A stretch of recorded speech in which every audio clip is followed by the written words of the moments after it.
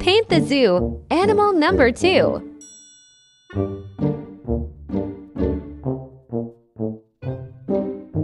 Female leaf bugs can reproduce without a male.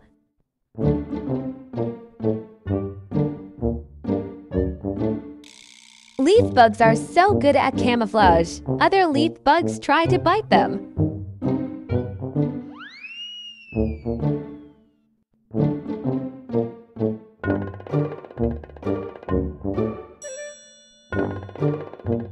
Leaf bugs can regenerate limbs if they fall off.